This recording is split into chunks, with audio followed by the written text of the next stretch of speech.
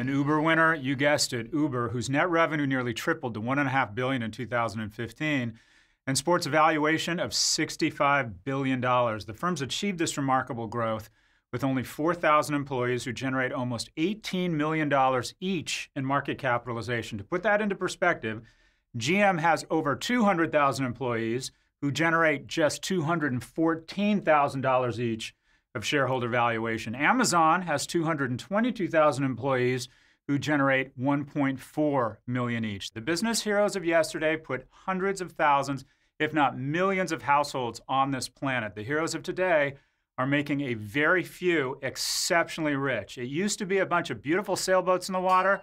Now it's a few yachts with a lot of people taking on water. So who's the loser here?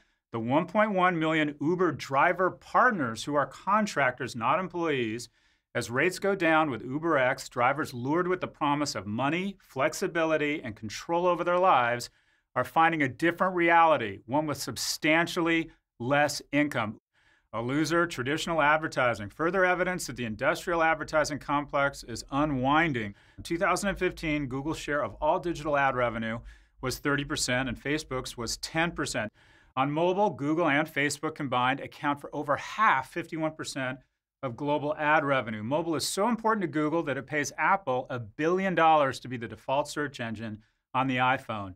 This is again a winner take all sector in a winner take all economy. The big winners in the war for talent Facebook and Uber. With all the talk of Twitter execs leaving this week, we decided to scrape data from LinkedIn and examine the migration patterns among the big four Amazon, Google, Facebook, and Apple. Our research reveals that in absolute terms, regarding retention, Facebook is the big winner. The biggest winner overall, however, is Uber, where fully 14% of the staff migrated from one of the gang of four Apple, Amazon, Facebook, or Google. If you want a job at Uber, go to work for one of the big four. The big loser, Yahoo, who appears to be more of a recruiting firm than a media firm. A winner, Mark Zuckerberg's stylist. Mark Zuckerberg recently shared a peek into his closet as he marked his first day back to the office from paternity leave. By the way, I think he's just so fucking obnoxious about this whole dad thing. Get over it. A lot of us have kids. His closet features nine identical gray t shirts and seven gray hoodies. The post garnered over 1 million likes and 74,000 comments. It's proven science that the more decisions you can take out of your life, the better judgment you have around the remaining decisions. You should have a uniform and just stick to it. I myself limit my closet to Jordache jeans, skeletons, and anything licensed by Paco Rabanne. We'll see you next week.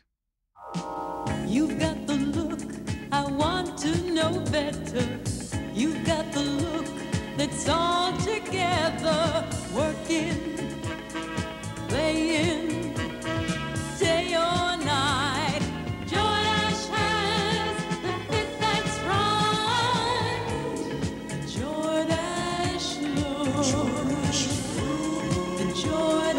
Look.